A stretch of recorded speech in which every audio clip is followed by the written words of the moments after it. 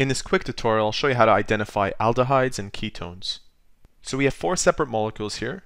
Focusing in on A, you'll notice that we have this carbon right here, double bonded to this oxygen.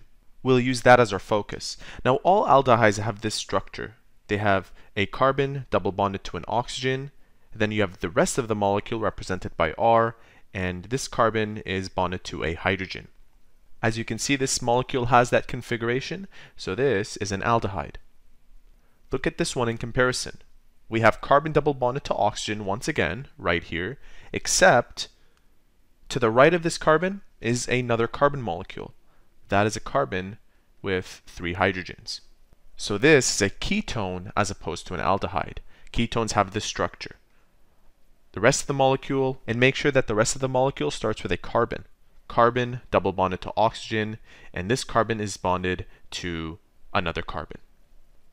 Looking at this one, it has the same configuration as what we saw in A. We have carbon double bonded to oxygen and a hydrogen with the rest of the molecule. So this is an aldehyde. I'll write down K for ketone here. Over here we have a carbon double bonded to oxygen and it's single bonded to two other carbon molecules. So that is a ketone. And there you have it. That's how to identify aldehydes and ketones.